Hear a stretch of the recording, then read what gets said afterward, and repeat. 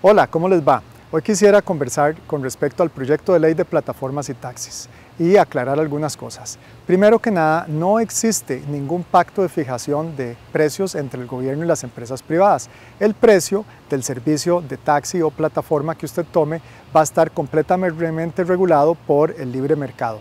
¿Eso qué significa? Que a las 7 de la mañana, cuando todos vamos a trabajar y hay más demanda, de utilizar plataforma o taxi, el precio posiblemente va a ser más alto. A las 10 de la mañana o a las 2 y media de la tarde, cuando casi nadie se está moviendo y se pide un servicio de cualquiera de los dos, el precio va a ser más bajo.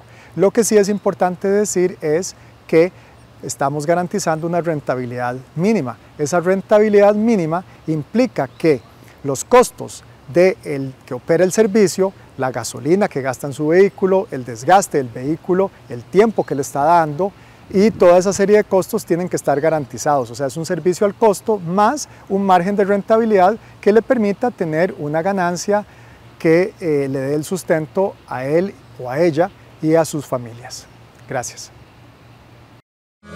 Porque la UNED existe, puedes cumplir el sueño de estudiar desde cualquier lugar del país, aunque estés trabajando o tengas otras obligaciones. Matriculate en una de nuestras 42 carreras y 24 posgrados. UNED, somos estudio a distancia con flexibilidad de horario y amplio uso de tecnologías digitales. Matrícula web del 8 al 13 de mayo.